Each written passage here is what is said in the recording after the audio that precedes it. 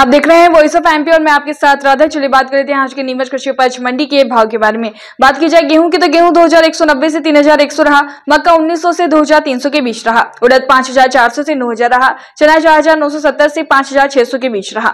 दाल चना 5201 से 9900 रहा, सोयाबीन 3800 से 4770 के बीच रहा।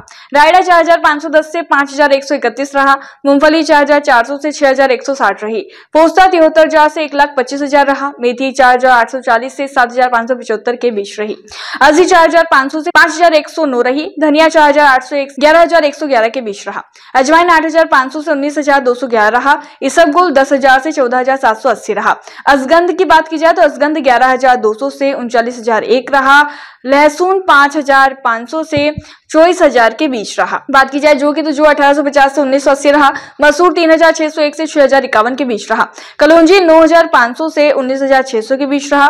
आगे बात करें जीरा की तो जीरा अठारह हज़ार से अट्ठाईस हज़ार के बीच रहा। शिरायता की बात की जाए तो शिरायता पच्चीस सौ से दो हज़ार पाँच सौ के बीच रहा।